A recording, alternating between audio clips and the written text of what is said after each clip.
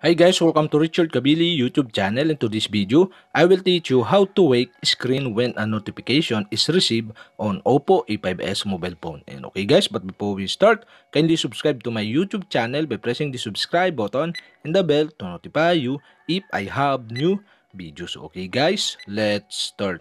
So okay guys, yung you have to do is go to setting in your Oppo A5s mobile phone. And okay guys, here in settings, okay, go to notification and status bar, okay, click this. And okay guys, here in notification and status bar, okay, on other portion, okay, you can see the wake screen when a notification is received. And on the right side, you can see the switch button. And okay guys, to wake screen when a notification is received, okay, you'll have to do is switch on the switch button on the right side.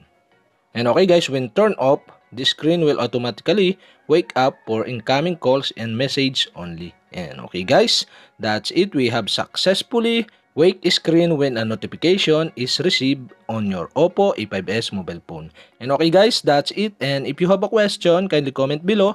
And don't forget to hit the subscribe button and the bell to notify you if I have new videos. Okay guys, thank you for watching.